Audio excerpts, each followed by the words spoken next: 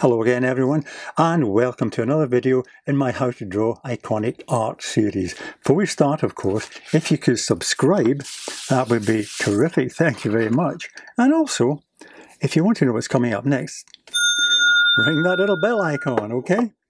Right, well the iconic art today is a detail from Picasso's famous painting Guernica which was painted in response to the German bombing of a Spanish village, a town, in 1937. And I'm going to draw a detail of this, and it's the central image, which is of a horse with, it, with its mouth agape, it's been wounded. And above that, um, there is what looks like a large eye, uh, but of course it represent can represent the flash of the bomb going off. Um, so what you do is, first of all, start by drawing the big curve on the top of the eye shape coming like that. Okay, underneath that, see that? Kind of shallow lemon shape almost. And in the center, we have a light bulb shape, which kind of represents the eyeball and also the source of the light. And you got what he does is just a kind of squiggle like that for the filament in the center. Something like that. Okay? And around the outside of the eye shape, he draws the jagged shape, if you like, of the explosion. So you get these shapes coming up like that, kind of small at the top, and coming out larger at the sides, like that. Okay, then back to this side again. You get a much longer one coming out to be there, coming back down to there, and then another one kind of joining that, coming underneath, like that. And the painting was done in black, white and grey. So I'm going to be doing a pencil drawing for you. And uh, that comes in like that, joins to that. Another one comes up, and a double one there, like that. And below this line here, you have, well, these ones are going to be black, or rather white, but below that, um, they're going to be some black shapes, jagged shapes as well. So one starts there, and this kind of double one here, there's one just below it, comes in about there, and then one like that, coming up to there, and then another one comes down from about here, and like that. Okay, so that's roughly the kind of shape of the the eye and the explosion. Okay, and below that we have the shape of the horse with its head up, its mouth agape. So first of all, I start with the outline of its head shape coming up like that, know, curve there. And at the top here we have its nose shape. Now he separates it out like that, and you see the nostrils in the centre. That shape, like a big coma almost. Okay, and separates that from the rest of the horse head with a line coming in like that. Just follow that line around there. See, duplicate that line, coming around, and then what you get is almost a cartoon version of the of the horse's mouth, a gape like that, and in the mouth we have three great teeth like that. Okay, the mouth there, and in the centre of the mouth, the tongue an anguish jutting out almost like a spear point, like a dagger, a knife. Okay, and that carries on down there. Then the mouth carries on round to here, and the bottom of the horse's chin, if you like. And then you have four teeth now coming up from there. Okay, and you kind of repeat this line here. You get a loop coming around to there, and then from over here there's a line that goes straight across and curves down towards the eyes just below this line here. And the eyes are on this line here. And you draw two big circles, one there, and then one there. But stop that circle there, so it's open, right? And in the centre, draw another one, and one in the centre. Same with that one there, you draw one there and one in the centre, okay? Those are the, anguished looking eyes. Now, as this line comes up here, curves across and you get one ear, simplified ear coming, and then this ear, next ear, is more of a leaf shape, coming in like that, okay, with another double line there, and a line in the centre. And the back of the head comes down about here. And streaming out for that you get simplified shapes, almost like flames, but they are part of the horse's mane. Okay? And at the bottom of the, the head here, it's almost as if he's drawing a skull as well, as if the horse is already dead and had been dead for a while. So you get this almost skull-like shape coming in there. And the rest, the bottom of the horse's here comes up sharply like that. And that line's doubled up. Comes in there. And there's also a line from here which comes up to join this line just below the eye here and a curve and then that's doubled up and there's another almost like a bone fragment coming in like that this is all going to be black in here so that joins up into this shape which curves round and goes over the top and curves back towards the back of the horse's head and then that's a separate line there as well. So all these lines are going to be black, okay? And this line then curves around and becomes part of the horse's neck in here, like that. Just below that there's a shape. Starts with a kind of circle and then comes straight down. It could be a fragment of something that's been blown apart. Okay, that continues down like that, and you get suggestions of the chest of the horse coming in there. And there's another line like that, another separate one, and that line follows through and I get a big curve below the horse's head. And it also splits up the background into various areas to accentuate the shapes that, he, that he's been painting. Okay. Um, now the back of the, the horse, back of its neck rather, comes in a curve like that. So there's a horse's neck there, you see. And that kind of splits up as well, comes down at that angle there. And uh, then we have, again, we have more of the mane shape coming out like that. Okay, and just coming into the picture here, you also have um, something I suppose which uh, corresponds to this here. It's a lamp, almost like it's the it's the lamp of reason coming in to enlighten all this madness that's going on. This horror. Okay? And then you have a flame inside the lamp. Is that there? And you have a line below it. Like that. Then the actual base of the lamp itself coming in. Held by, again, very simplified fingers that Picasso draws. Like that with the nails showing and the thumb comes in just below that there comes up and that goes in well that actually comes a bit further in because that appears there and the back of the hand appears coming in like that. And then there's another finger coming in below that and another one coming in there okay? And the back of the hand comes up like that okay? I'll sort that later. Right, come down to the bottom now, and uh, basically it's more or less all pattern here. We have a big kind of diamond shape just below that curve there, with a long kind of lozenge diamond shape, like that.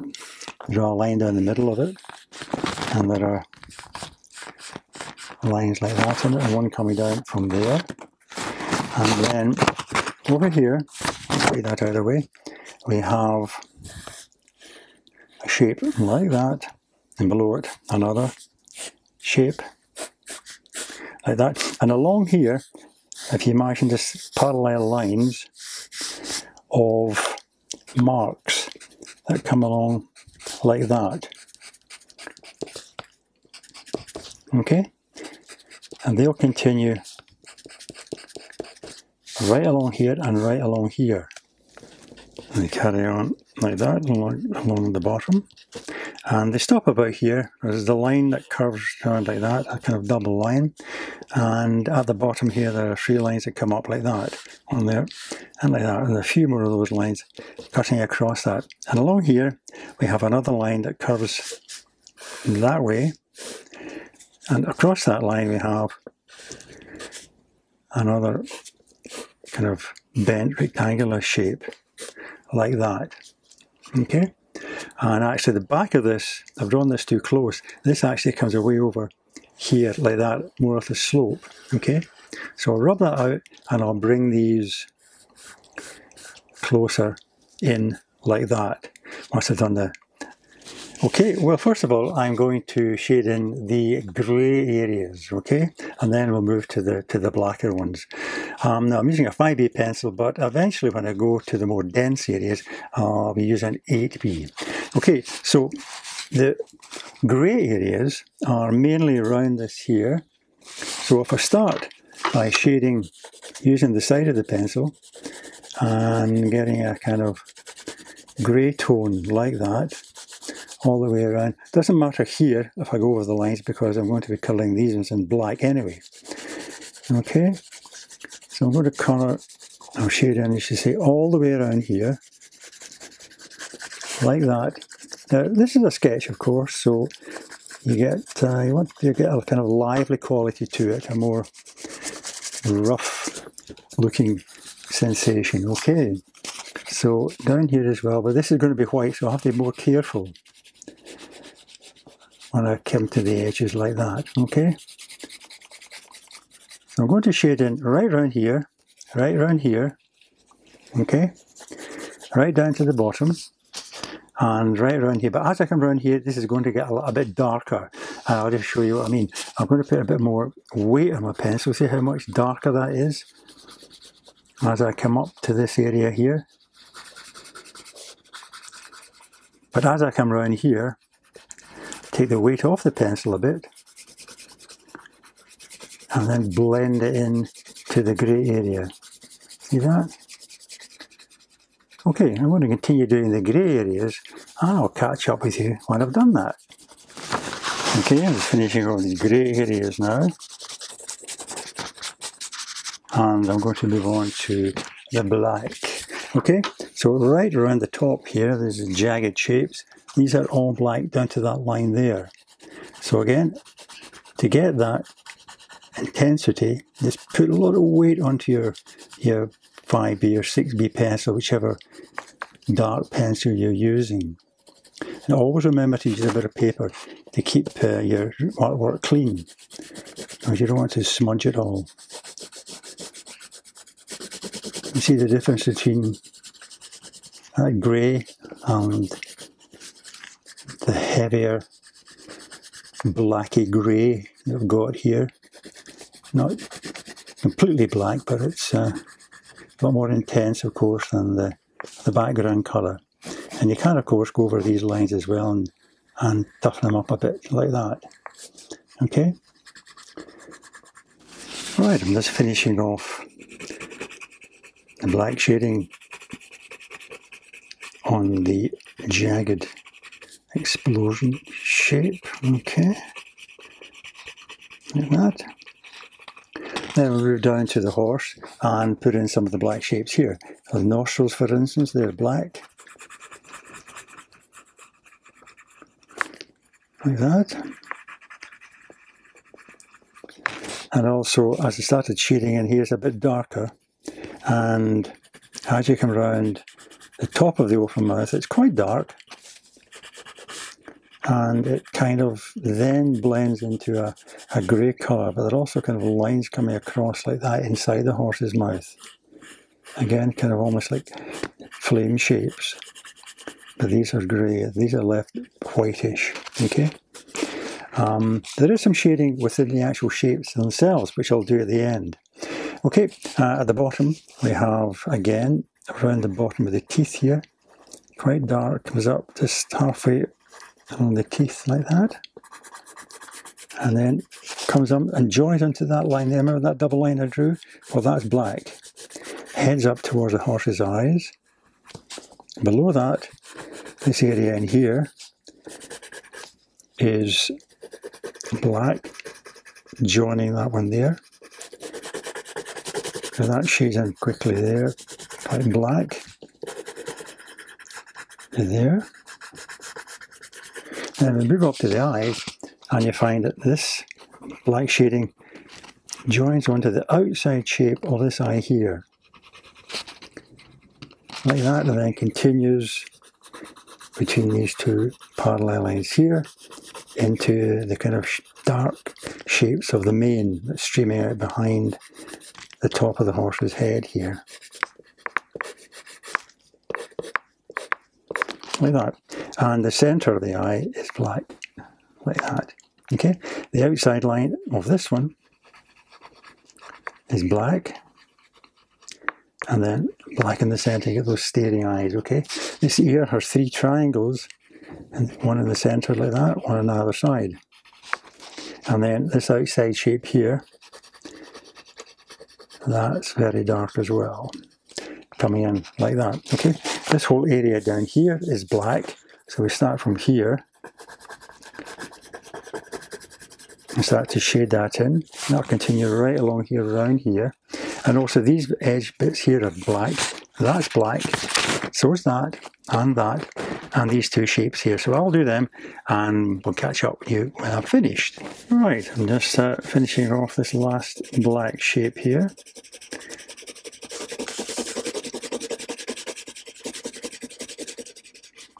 And again, you know, you can make your pencil lines quite free like that, quite sketchy.